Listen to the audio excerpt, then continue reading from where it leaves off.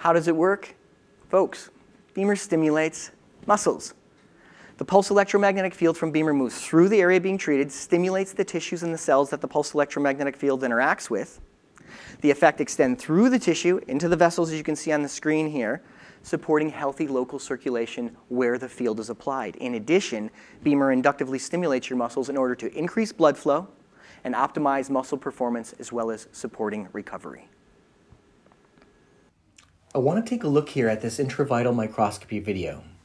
This is the local microcirculation of a male who's been under chronic stress. And what we're seeing here is a zoomed in view of a local area of microcirculatory vessels. And on the left side of the screen, you're looking at an arteriole that's vertically orientated, and on the right, also oriented vertically, is a venule.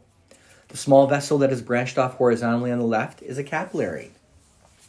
Arterioles are responsible for bringing oxygen rich blood into the capillaries, which then deliver the blood and its components to the cells which are vital for these cells to function. You can see the blood flowing clearly in all the vessels here observed, but the little capillary is not being adequately, adequately perfused with blood.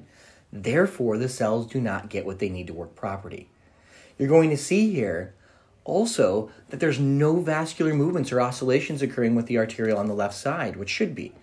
In addition, there's restricted blood flow, there's poor perfusion, and diminished venous return.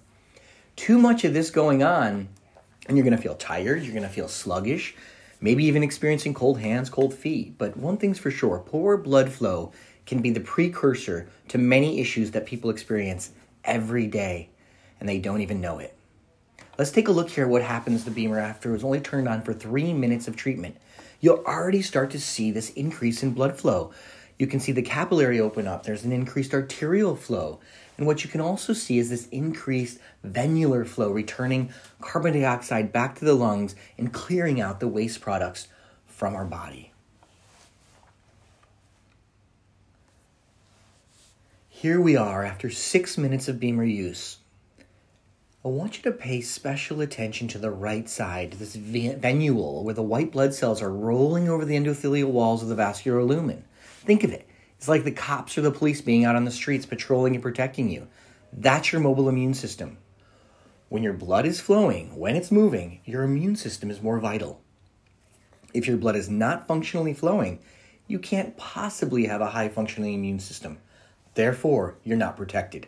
You can think about it this way if you're perfused, you're protected.